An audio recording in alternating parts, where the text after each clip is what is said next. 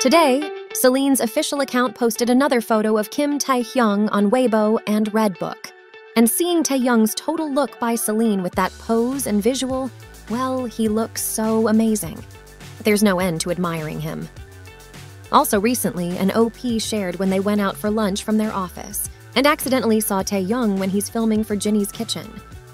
They revealed that they didn't recognize him, as Taehyung looked like a high school student.